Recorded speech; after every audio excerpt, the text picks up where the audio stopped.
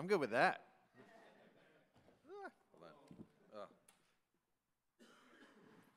Hey, good morning, church. How's everybody? Anybody notice when I was gone? No, no, nobody misses me. Yeah, a good trip. Oh, it was cold. It was cold. Where I was, it was 20 degrees. 20. It was. It was very cold. We were in Dallas.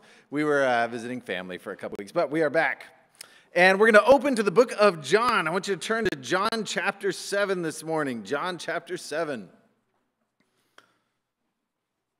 And the book of John keeps getting better. We're actually going to finish out chapter 7, beginning at verse 37.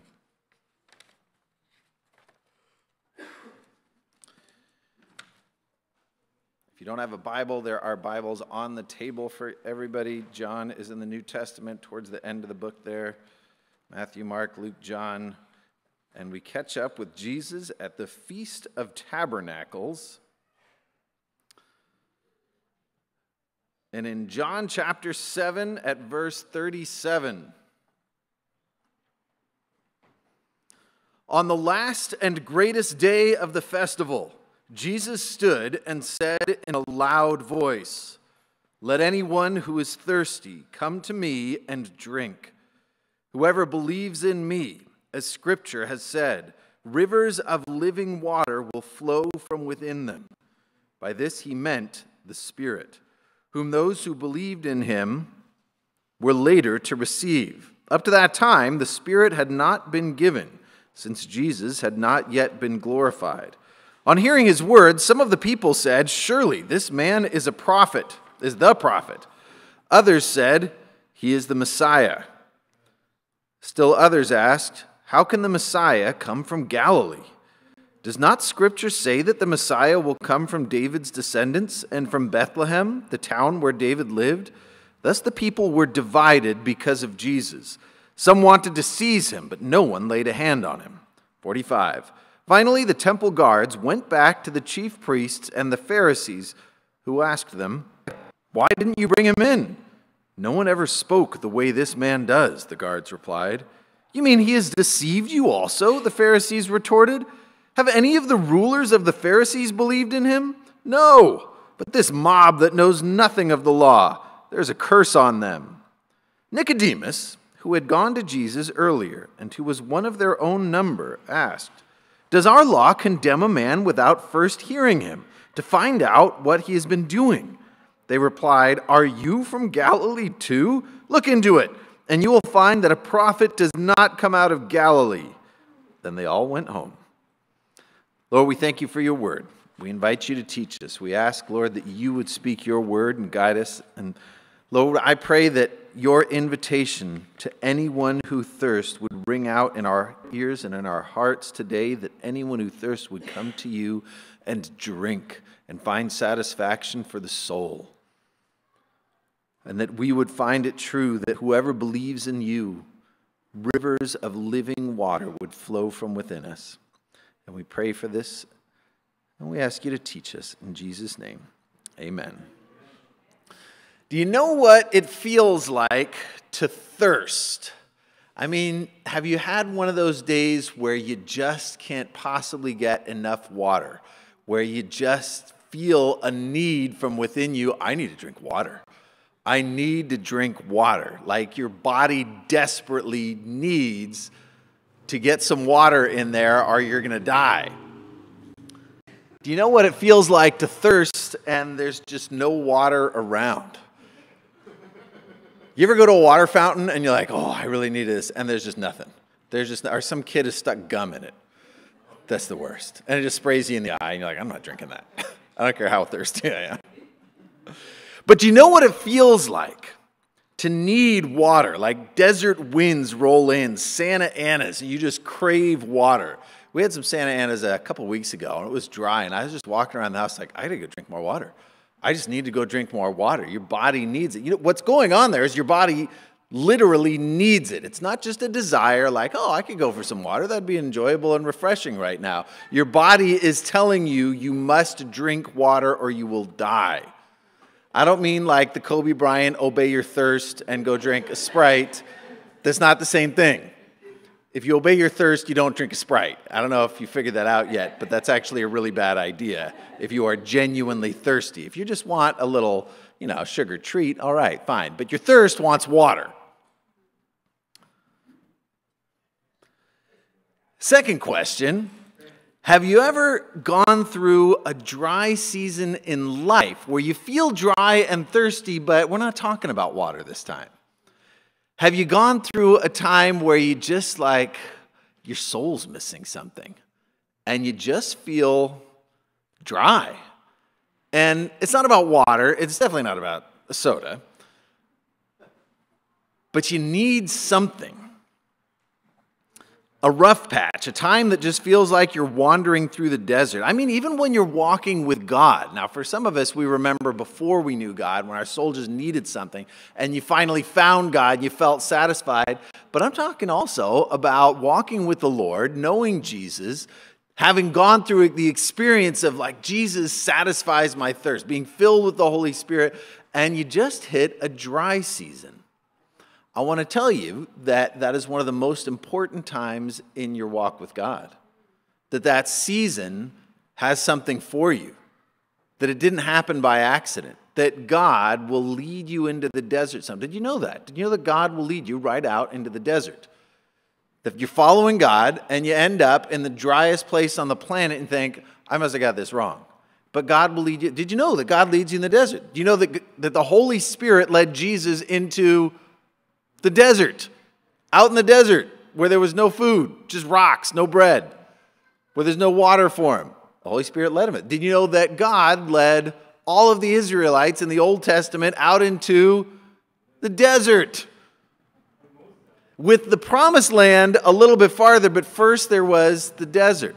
Well, actually, that was one of the most important times in Israel's journey, so important that God told the Israelites, never forget this. In fact, once a year, they were called to have a feast. Now, there were seven feasts during the year, all of them really important, as they would come together and remember different things. You remember Passover.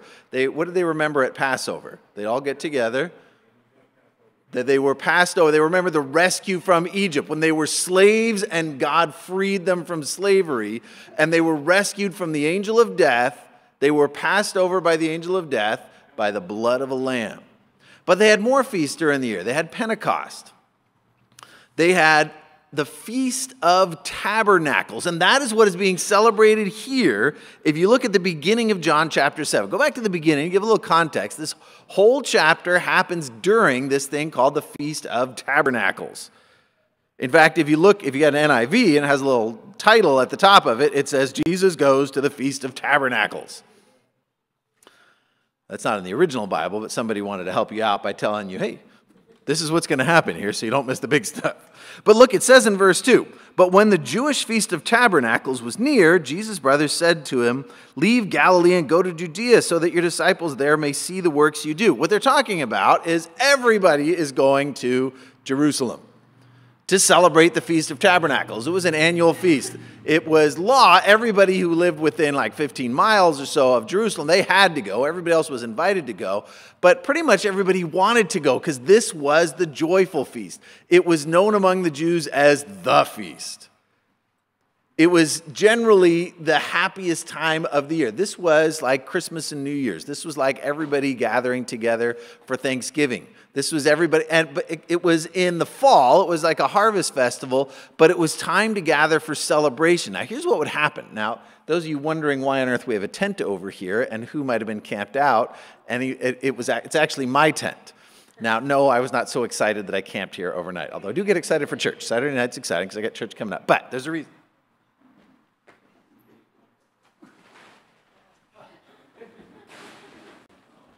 So here's what happens at Feast of Tabernacles. The word tabernacle there really just means tent. Tabernacle, we think of like the temple, but the word tabernacle just meant tent. In the Old Testament, they built a tabernacle for God. It was a temple, but really it was just God's tent. It was a portable temple. And the Feast of Tabernacles, really in, in Hebrew, just means Feast of tents or booths. It's also called the Feast of Booths. And what the, the Jews would do is once a year for a week in the fall, they would all leave their houses, gather at Jerusalem. Everybody brings a lean to, everybody brings a, uh, a makeshift tent, and they live in the tent for a week. Outdoors, under the moon and stars, and it's a celebration. And everybody lives in tents. And while they do, they are telling stories to their kids. They're telling stories to their kids about the season, the 40 years when their forefathers lived in the desert, when they followed God. And the stories again and again came back to God's faithfulness. When we were in the desert, there's no food anywhere, but God provided manna that we could eat. We were in the desert and there was no water and it was totally dry. And God told Moses to take his staff and strike the rock, and the rock provided water. And day after day and year after year, God provided. And the stories they would tell were not all stories of, they were not all happy stories. Oh, don't put that one up yet. That's for later. That's just going to confuse everybody. Thanks. like, who are those people? okay, that's coming later. They're out in the desert and, uh, and they're remembering, they're telling their kids the story. And God wanted their kids to know the story so that their kids would not lose the hard earned lessons of their parents. Do you know that's important? That your kids need to know the lessons you learned the hard way. Do you know it's important that your kids know that God saw you through your hardest times in life? Your kids need to know that that God was faithful to you. And that was the message. They spend a whole week every year telling their kids the story again and again God got us through. God got us through. Do you know that you learn something from the hardest times in life? That you go through it and it's not wasted if you learn something from it. And you want to pass that on to your kids. How often do you remember the hardest times in your life? How often do you look back? Now, for those of you who are in it right now, like not hard to remember. That's not like, let's think back. What was this morning like? Oh, that was hard. but they would remember, they gather in tents to say, you know what, we all lived like this for, for 40 years. This was home. See, when I bring out the tent, some of us look at the tent and, and think nostalgically, ah, I remember camping with my family, that was great. Some of us look at the tent and remember, I remember when that's all there was.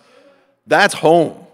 Those are not happy memories. Understand that for the Israelites, the Feast of Tabernacles was doing this for fun to remember what it was like when this was everything, when that's all they had.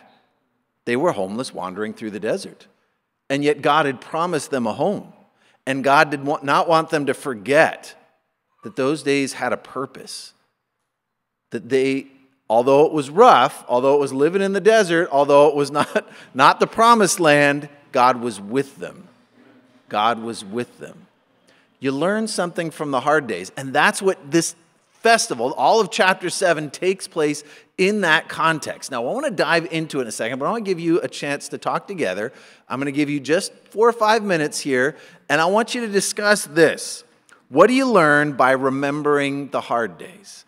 What do you learn by remembering the hard days? Now, I'll, I'll say this with a, a little, a little uh, addendum here. I realize that some of those hard days, there are some things that you do not want to remember, that you leave those in the past. And that's good, and that's right. There are some things about the, the hard days, maybe it's your sin, maybe it's sin done to you. There are things that you leave in the past and you do not bring up again.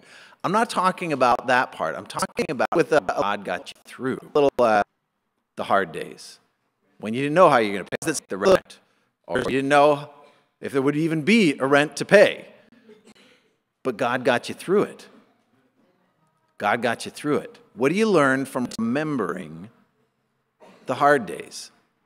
So that's my question for you. It was an annual feast, something they had to do all the time. They had to tell their kids. But do you ever actually go through that? When you think back, what lessons do you get from your hard times? Maybe that's last week, maybe that's last year, maybe it's 10 years ago for you. But do you ever think back? And this is actually kind of personal for me. We visited Dallas last, uh, last week. We're visiting family. We got great family out there, a bunch of cousins, a bunch of little kids to go have Christmas with. It was great to get together. Um, but as we were there, I was remembering that it was. Uh, 2012, when we moved, we moved back from the mission field, back from Mississippi. We were in Dallas. We lived there for two months. While we were there, we were not houseless, but we were homeless. My family was without home for most of 2012. And I remember what wandering the desert was like. We had family, we had friends, we had people to stay with. I'm ever thankful for them. Most of all, I remember God got us through, but I do not forget how hard it was to not have a place to call home. But it's good to not forget because God got us through. God got us through.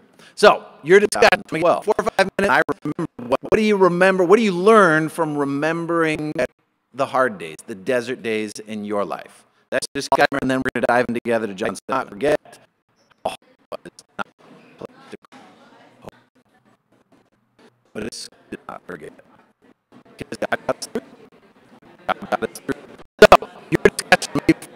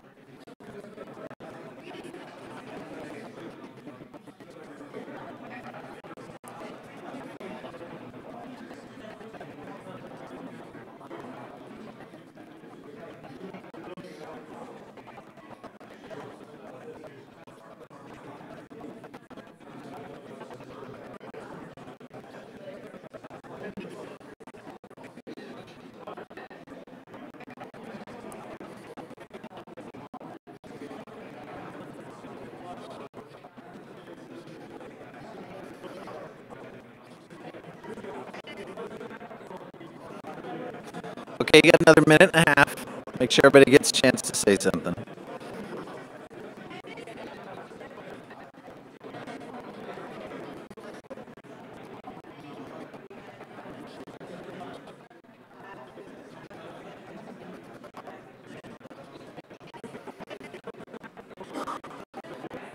Okay, you got another minute and a half. Make sure everybody gets a chance to say something.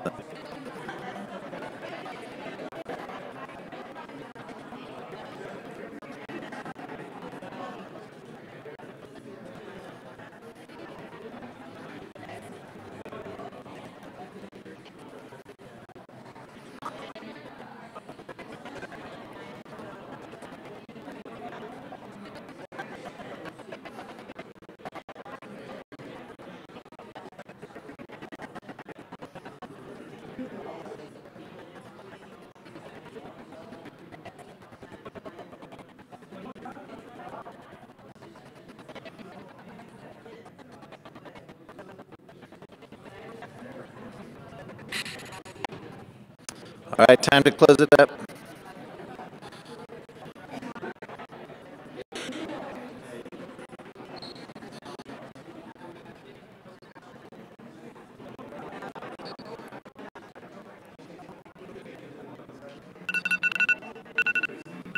That's your timer.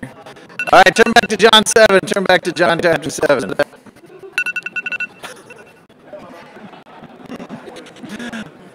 I want to get the Jeopardy music for this.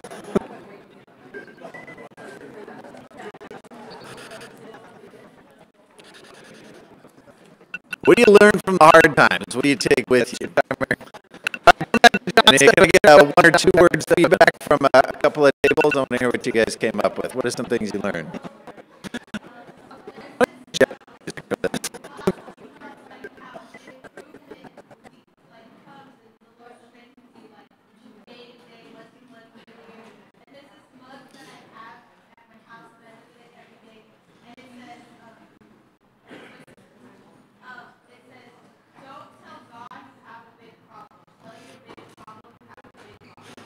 That's right. Don't tell God you have a big problem. Tell your problem you have a big God. That's good. You watch yourself grow in the in the hard times. Is one thing. Now we should be growing all the time, but you will see your heart, your faith, your yourself really grow through the the hardest stuff.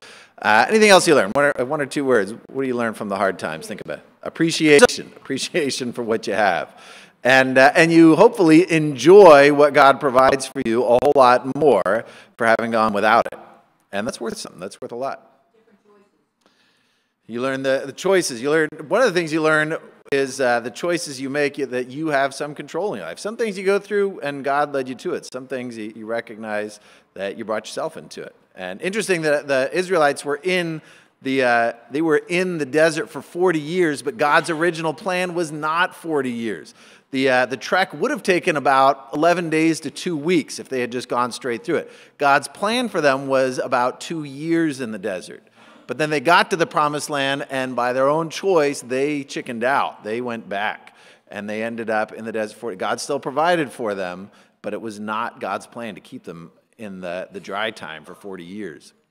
I think you learn humility I think you learn humility. I think you learn to, to look at others who are going through hard times without the, the judgmentalism, to not judge them by their appearances or their circumstances. And that's actually a big part of our story here. Turn back in John chapter 7. Let's see what's going on. Now, as they're celebrating, I want you guys to picture the scene. If you enter the scene, this story is much more powerful. We're going to get one of the great verses, one of, the, uh, uh, of all the, the red letter verses in 737. 737 is bigger than an airplane, it's a big one. Jesus said, If anyone is thirsty, but if you get the context of what's happening. Now, if you picture the scene there, all of Israel's gathered together. It's a busy place, and there's a lot of joy in the place. The people wake up each morning together with their families, get up out of their tents like this. And then during the day, they would celebrate and commemorate and tell the stories of how God saw them through. They would tell the stories of the escape from Egypt, of how Moses led them and, and, how God parted the seas. They would tell the stories of following a pillar of cloud by day, that God kept it cool in the desert with his own presence, a, great big cloud. And then at night, there was a pillar of fire that would keep them all warm. They didn't have to light the fire, God was just there with the fire. It was fantastic. But one of the stories that they would remember each and every day was the story of water coming from the rock. The priests commemorated each day, they would take a pitcher. They would take a pitcher, and a procession of the priests would walk out of the city through the water gate to a place called the Pool of Siloam the pool of Siloam, they would gather there and they would fill the pitchers with water. And then all of the priests, you got to picture all the priests and all their robes, they're, they're coming back through the city, and all the people are following along like a big parade, and they're carrying pitchers of water. They end up back in the temple courtyard. In the temple courtyard, they take the water pitchers and they pour out the water.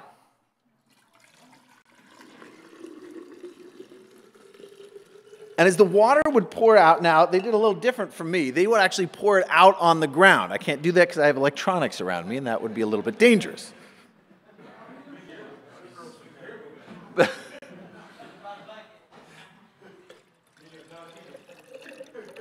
but day after day, they would pour out the water, and as the water would go onto the courtyard ground, it would flow out among the people.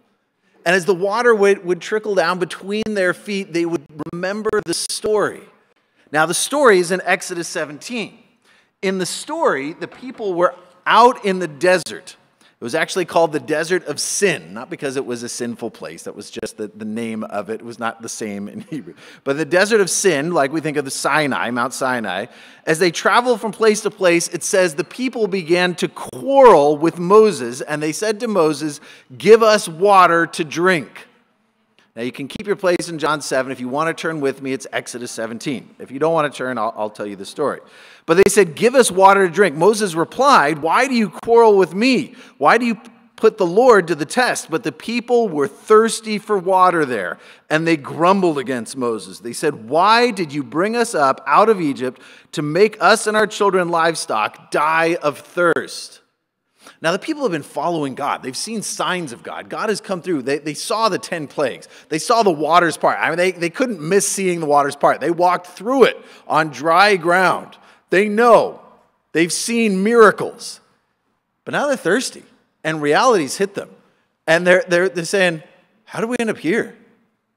What are we doing here? And people started to say, It was Moses. Moses is the one who told us that God's lead. Moses. And they go to Moses and say, why would you bring us into a desert? What were you thinking? The desert is not a. Have you ever actually wandered and gone hiking into a desert? It gets hot and dry fast, really fast. And you start realizing really quickly that you are a baby little city boy. that you are, and you're like, where's the water fountain? It's a desert. We, we don't have water fountains here. Didn't you bring a canteen? I've never needed a canteen before. Everywhere I've ever gone in my entire life, water just comes out of metal tubes. And I just turn this thing and there is water for me. It doesn't work that way in the desert. And they're out in the desert and they're thinking, there's no water out here. There is no water out here. We're thir-, and they blame Moses. Moses, what are you doing? And Moses is saying, You didn't follow me out here. We followed God out here. But you'll come to those places in life when you think, How did I get here? And you look back and you think, I thought I was following God. I was pretty sure this is where God wants me to be. But where did he go? It says in verse 4 of Exodus 17 Then Moses cried out to the Lord, What am I to do with these people? They're almost ready to stone me, as in kill me. The Lord answered Moses, Go in front, go out in front of the people. Take with you some of the elders of Israel, and take in your hand the staff with which you struck the Nile, and go. I will stand there before you by the rock at Horeb. Strike the rock, and water will come out of it for the people to drink. So Moses did this in the sight of the elders of Israel, and he called the place Massah and Meribah because the Israelites quarreled and because they tested the Lord, saying, Is the Lord among us or not? Now, that question is the heart of the story. The people question, they challenge. He called, it, he called the place quarreling, and he called the place testing, Massah and Meribah, because the people were out there saying, Is God with us or not? And that's the heart of the question, isn't it? When you're going through the desert, when you're going through a hard time, the real question is not just where am I going to find water? I recognize that's a pressing need. It's not just how am I going to pay my bills. The real question is God with us or not? Because if the Lord is with us, these problems are nothing.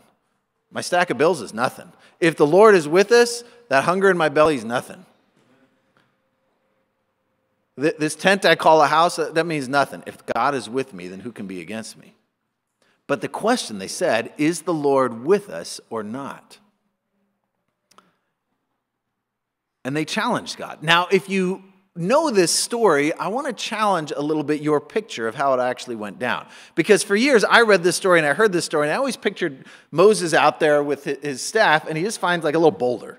I just kind of picture you like hit the boulder, and then and the water, and you get like a water fountain. Everybody gets to drink. But the, there's a problem with that picture of the story because they counted how many people were out in the desert, and it's about two or three million people. They, they counted the men, it was 600,000. And if you add their families, they got about two or three million people out there with all the kids. How are you going to give water to a couple million people with a little water fountain? Imagine a stadium full of people only has one working water fountain on a really hot day. Santa Ana winds are carrying in, and everybody at Angel Stadium has one work. You know how long the line would be for that water fountain? Now, Angel Stadium holds about 50,000 or so. Multiply that by 40. We have 40 stadiums, and they got one working water fountain. I don't think it worked that way. I want to. I, this part of my, my message here is worthy of a whole teaching, a couple of teachings, but I want to tell you a little story quickly. We met a, uh, a couple in Mississippi. They were actually part of our church in Mississippi, wonderful couple, Jim and Penny Caldwell. Uh, Jim worked for the oil company in Saudi Arabia in the early 90s. And, uh, and he told us a story. Now, they've told the story a lot of places. I could, when I found out their story, I couldn't believe they were in my church. Little tiny church, little town in Mississippi, but wonderful people, fantastic people. Um, and Jim and Penny lived with their little kids in the, the 90s uh, in Saudi Arabia. Saudi Arabia is hot desert. Now, the interesting thing about it, they're believers, and, uh, and God set it on their heart one year to, uh, to go visit Mount Sinai. Mount Sinai, you know, is the mountain where Moses got the Ten Commandments, where the fire of God came down on the mountain. And, and Mount Sinai is the place. When they were wandering in the desert, that was the main home base. And so they decided they went and visited Mount Sinai. They took a trip, took some vacation time, took a trip to the place where everybody says Mount Sinai. Well, not everybody, but generally agreed Mount Sinai is. And they went and saw Mount Sinai. And it was just kind of, and they had studied. They, they spent all this time, months leading up to it, reading Exodus, Leviticus, Numbers, studying. And they said they saw the mountain. It was kind of not so much a glorious mountain, but a hill. And it was just kind of unimpressive. And nothing about the topography of the place matched what they were reading. And they were just kind of disappointed by the whole experience. Well, they did a little reading and discovered that not everybody agrees that that's Mount Sinai. That's where the tourists go. It's called St. Catherine's Mount Sinai because Catherine went out there and visited and said, This is Mount Sinai. And if Queen says it's Mount Sinai, everybody agrees. Nobody argues with the Queen. And that's where the tourists go, but it doesn't really match. There are, they discovered that there are archaeologists, Bible scholars who have a theory that Mount Sinai is actually in Saudi Arabia. The problem is nobody can get into Saudi Arabia to go looking because Saudi Arabia is an extremely controlled kingdom. Except they lived in Saudi Arabia because they work for the oil company. And so they went exploring and discovered a place that some people believe is the real Mount Sinai. Now, there's a long story to this. There's a whole little documentary about it. It's really fascinating. What they found is incredible. I want to show you just one of the things they found around Mount Sinai that, they, that is a mountain that is a huge mountain that is black all along the top. They climbed to the top of it. I saw the pictures, and it looks like a cloud up there, like it's cloud covered, but it's not. In bright sunlight, it looks black, and they took some of it, it's burnt on the top. But what I want to show you that, I wish I could get into a long story. I want to stick to this. What I want to tell you is they found a big rock. And now we can bring up the pictures, if they'll come up. They worked before when I wasn't talking about them. Okay, that is a that's Jim and Penny Caldwell. They're good friends. The picture's a little stretched there. I apologize for that. But that's Jim and Penny now. That's actually a more recent photo. But the place where they're sitting, go to the next photo, is a rock that looks like that. Now that rock, if you get, take a little perspective, that rock the it's about 200 feet up, and the rock itself is about 40 feet tall. Now in the Exodus story, it says that Moses struck the rock, but I want to read you from Psalm 78 that tell, retells the same story. Psalm 78 is actually a retelling, as they would do at the Feast of Tabernacles. And it says, He guided them with the cloud by day and with light from fire all night. He split the rocks in the wilderness and gave them water as abundant as the seas. He brought streams out of a rocky crag and made water flow down like rivers. It says he split the rock, cleaved it, if you have King James. The, uh, the rock they found there is a huge, that's 40 feet tall, and is split right down the middle. As they walked up close to it, go back a couple of pictures to uh, the picture where they're sitting. If you look up close, they say you get up close, all the rocks in the area are dried out and flaky rocks because there's almost no rainfall in that area. They said rainfall is about half an inch a year That's not a lot of rain. But the rock, if you look behind them, is actually smoothed out and scored by water, like high pressure water. And as you pan out from there, there are there, the, the water, it looks like water has carved out pathways. And down below it, I didn't get a picture from this, but down below it, there are big basins where water would pool up. If you picture a couple million people in the desert, they don't need a water fountain, they need water pools. Because it says they fed, they, they watered their livestock and they all gathered around. You don't need just one place, everybody get in line. You need water to come out, gushing out of the ground. Now, can I say that that rock unequivocally is the same rock? No. I think there was a lot of evidence for it. The stuff they found, I would love to watch.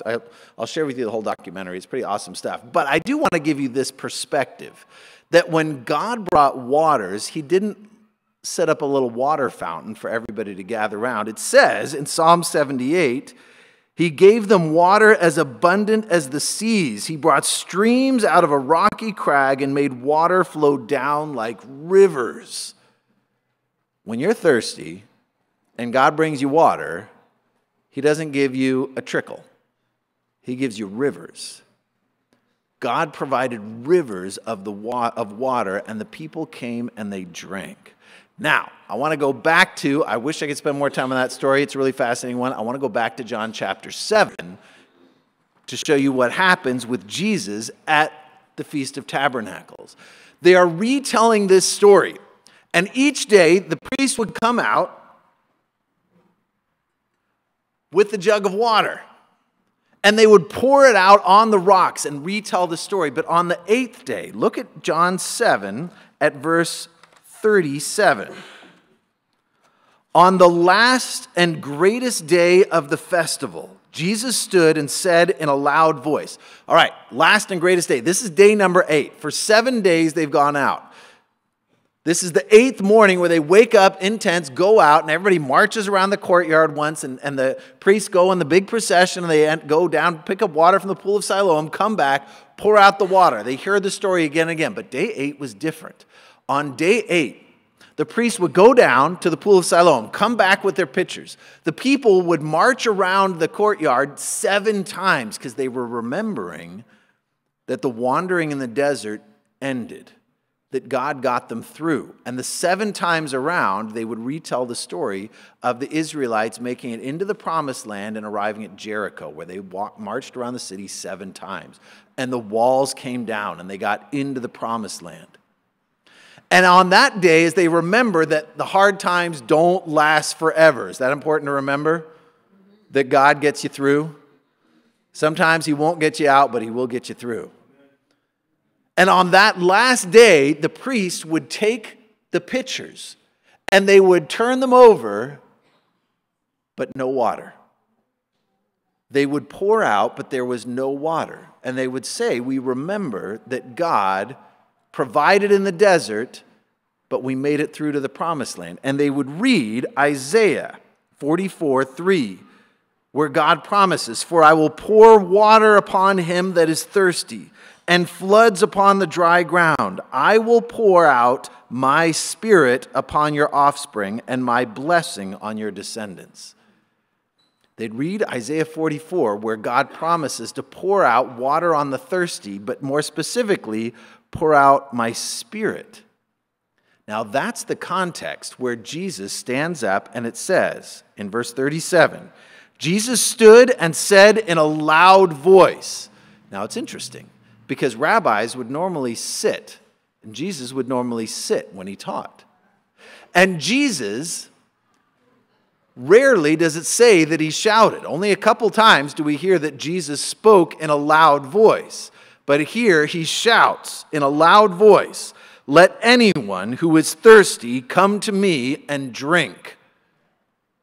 As the people are watching, as they, they've seen day after day, God provides water in the desert, but on this last day, there's no water. Because God's talking about a different kind of water this time. There is a thirst that is not just your body needing water. There is another kind of thirst. And Jesus said, Let anyone who is thirsty come to me and drink. You know what kind of thirst I'm talking about? You know what spiritual thirst feels like? Psalm 42 As the deer pants for the water brooks, so my soul pants for you, O God. My soul thirsts for God, for the living God. When can I go and meet with God? There is a need of the soul that is stronger than the need of your body for water. Your soul thirsts for God. And we can fill it with all kinds of stuff, can't we? We can try. You can try the spiritual soda. You know what I'm talking about? When, you know when, when the Sprite commercial says, obey your thirst? And those things, that drove me crazy. That drove, Kobe, Kobe Bryant comes out and, and he's holding a Sprite. He's like, obey your thirst. And I'm like, is Kobe Bryant one of the great stars of the NBA idiot enough to fill his, his thirst with sugar and then go try to play a game? I don't think he does that. I don't think he does that. I think they pay him a few bucks to, to, take, to hold up a Sprite and then he goes and drinks water like he's supposed to. if you're going to obey your thirst, you don't drink a soda. This is a terrible idea. We went to a, we went on a mission trip to Juarez, Mexico. Juarez, Mexico gets hot. We were building a, a house in Juarez. It was 115 degrees in Juarez, Mexico, and we went to build a house out in the sun. And the people who ran the trip, they told us the story. Now, I'm on my kids every day. We had a group of teenagers drink water, drink water, drink water.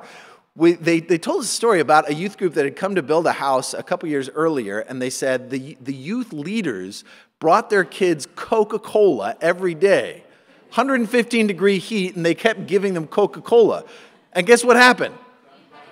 They got sick. They got dehydrated. It's dangerous. And when they figured out what was going on, they got rid of all the Coke. You, need, you can have a Coke at the end of the day for fun. You need to drink water all day when you're out in the heat. You need, your thirst needs some water. Understand that your spiritual thirst needs God. You need the Lord. And you can try to fill it with drugs, sex, money, fun, success, pleasure, fame, religion Yes, religion can be spiritual soda. Did you know that? That you can try to fill that need with religion, but you're not getting filled because you need God. And the religious guy is just as dry as the guy chasing after success, chasing after money, chasing after sex. That all of it leaves you empty. Some of those things are good, some of them are bad in and of themselves. None of them satisfy your thirst for God. Jesus says, If let anyone who is thirsty come to me and drink. Whoever believes in me, as scripture has said, rivers of living water will flow from within them. Whoever believes in me, believe in Jesus. You come to Jesus, he gives you water, like real water. You know what water tastes like when you are thirsty, thirsty? You know what the Spirit is like when it hits your soul and your soul is thirsty for God, like deers pant after the water. You ever seen your dog really thirsty? We don't hang out with deers that much, but I've seen my dog really thirsty. Have you seen your dog on a hot day when you forgot to fill the water dish and his tongue is hanging down to the ground? your soul ever feel like that? Jesus says, rivers of living water will flow from within them, that you will be satisfied from within. Rivers of water, like the picture of the rock split in two in the desert when rivers of water came out. And 1 Corinthians tells us, 1 Corinthians 10 says that that rock was Jesus. That rock was Christ. Did you know that? That rock in the desert, that was Christ. It was a picture. And out of him flowed the rock was Christ, the waters were the Holy Spirit. Verse 39 By this he meant the Spirit, whom those who believed in him were later to receive. Up to that time, the Spirit had not yet been given, since Jesus had not yet been glorified. He was promising them something they didn't have yet the Holy Spirit. Now, does that mean the Holy Spirit just didn't exist before that? Or he wasn't around before that? No, we have stories in the Old Testament where the Holy Spirit showed up. We have the Holy Spirit showed up, landed on Jesus like a dove. The Holy Spirit was, was there, but he hadn't filled them. That didn't happen until after Jesus died and rose again. They had the Holy Spirit with them, They had the Holy Spirit in them, but it wasn't until later they had the Holy Spirit upon them, filling them, overflowing them like rivers of living water. Verse 40 On hearing his words, some of the people said, Surely this man is the prophet. Others said, Don't call me Shirley, he's the Messiah. I was.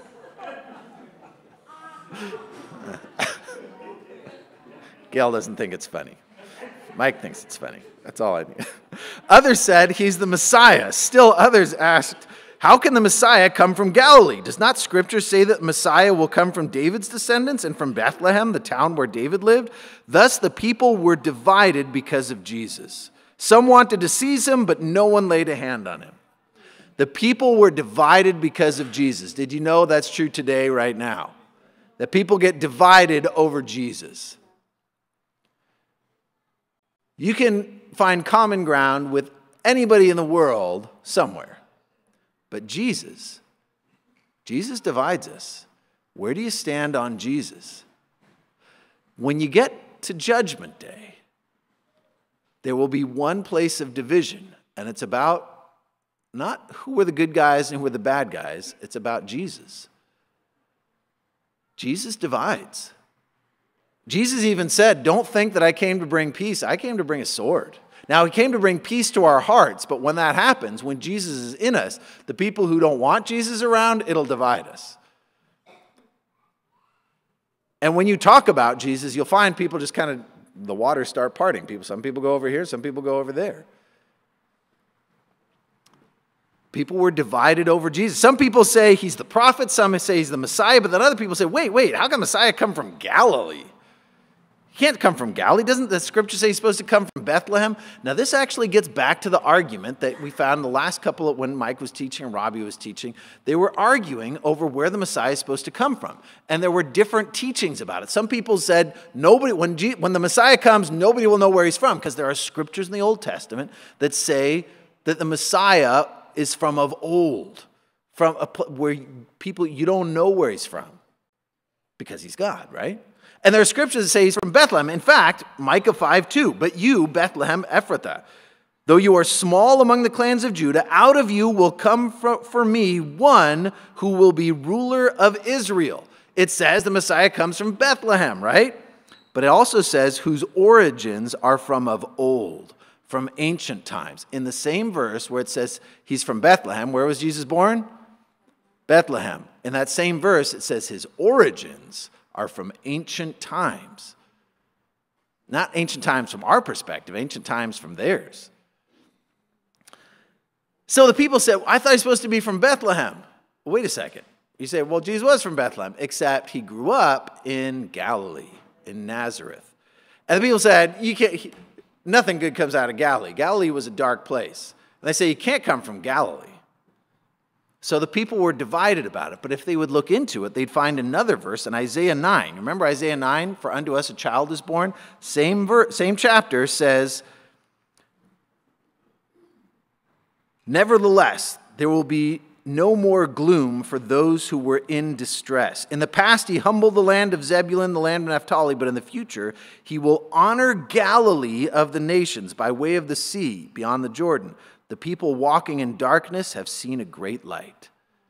Don't you love that verse?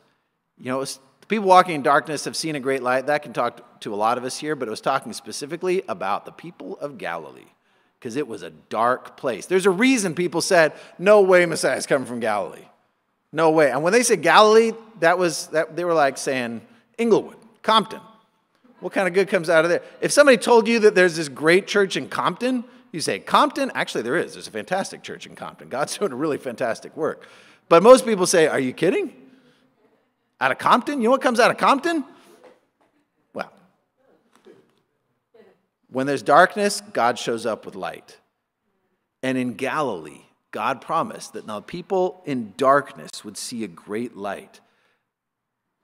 But they were arguing over it instead of looking into it. If they had just asked, they would find out, oh, Jesus does come from Bethlehem and Galilee. And it satisfies both scriptures. But verse 45 finally, the temple guards went back to the chief. You remember earlier in the chapter, the chief priest had sent guards to arrest, if Jesus shows up, arrest him. Well, the guards come back. And the Pharisees who asked them, Why didn't you bring him in? They didn't arrest him. 46. No one ever spoke the way this man does. The guards replied. You mean he has deceived you also? The Pharisees retorted. Have any of the rulers of the Pharisees believed in him? No. But this mob that knows nothing of the law, there's a curse on them.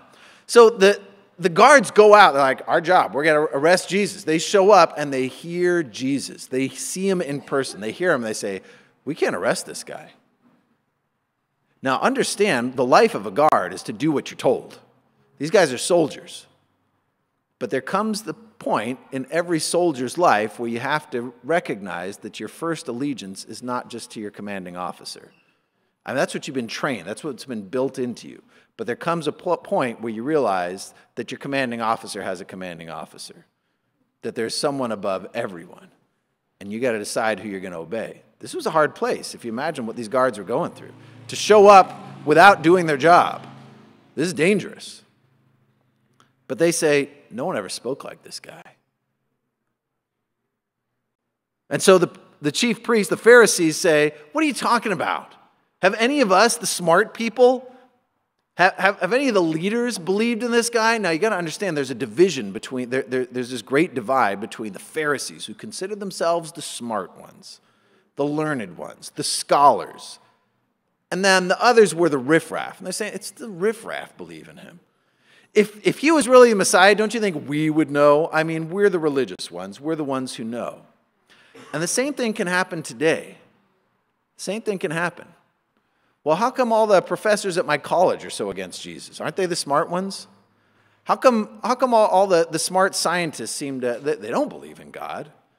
And you know what? That was actually my story. I was in college, and I was a smart kid, and I was like, none of the smart people seem to believe in this God stuff so it must not be true. Now, I didn't actually look into it, I didn't check it out. But I just kind of went with the, well, as long as the smart people say God's not real, then I guess he's not real. Look what happens. Verse 50 Nicodemus, who had gone to Jesus earlier and who was one of their own number. Now, you remember Nicodemus from John chapter 3, who went in hiding at night and talked to Jesus. Nicodemus was a Pharisee, he was a religious guy, he's one of them. And Nicodemus went and talked to Jesus himself. Nicodemus isn't a believer yet, but he challenges the other Pharisees and he says to them, Does our law condemn a man without first hearing him and find out what he has been doing? He said, You guys haven't even asked him any questions. You haven't even like you won't even listen to him and you're writing him off. So they reply to Nicodemus, verse 52, Are you from Galilee too? Look into it, and you'll find that a prophet does not come out of Galilee. So they blow off Nicodemus. What are you talking about? Galilee is a dark place. Prophets don't come from there. It can't happen. It's done. Well, funny. It's funny when smart people say, well, if you looked into it, you'd know this. If you did your research, then you'd realize that the Bible's all wrong. If you read the Bible, you'd know that it contradicts itself everywhere. If you, and this is what smart people do Except, except the question is, have they looked into it? If you look into it, you'd see that prophets don't come out, out of Galilee. Really? Did you know that Jonah was a prophet and Jonah came from Galilee? He's a prophet. If you look into it, if you dig in, they didn't actually look into it. They just said, if you do, you'd find that we're always right. And Capernaum the, the city of Capernaum means city of Nahum. So we think Nahum probably came from Galilee. But they said, if you look into it, they don't actually want you to look into it. When I was a college kid, I always thought, well, if I looked into it, I just find that they're right anyway. But I finally was convicted. I thought, you know, as a scientist, can I actually say that I've looked into it? I haven't. So how do I know I put does does science write something off without actually investigating it? So I thought, well, as a scientist, I have to investigate. I went into thinking about God without any intention of believing in God. I just thought I got to be honest intellectually. I finally gave it a chance and discovered that this evolution I've been holding on to violated the rules of science horrendously. They just push all the violations back to the Big Bang. Something comes from nothing. Energy comes from non-energy entropy's in reverse. It violated all my rules of science. But as long as the smart people believed it, I went along. And I discovered it had a lot of holes. And this whole God thing explained a lot. So, what happens for them? Well, verse 53 then they all went home, which is how we end the service here. We all go home. I think a great way to end the chapter. They all went home. but the question is what are you going to do when you get there? What are you going to do with Jesus? You got to decide whether you believe this or not. We all go home. Are you going to bring Jesus with you? Are you going to try to satisfy your thirst with a soda? It'll leave you empty. with something empty, I'm not preaching against Sprite. Well, it is terrible for you. Soda's terrible for you. So maybe I should. But when you thirst for God, don't try to satisfy it with anything less than Jesus. Lord, we thank you for your word. Worship team, come on back up. Lord, we thank you for satisfying the thirst of our souls. That, Lord, you saw us through the desert, that you gave us water.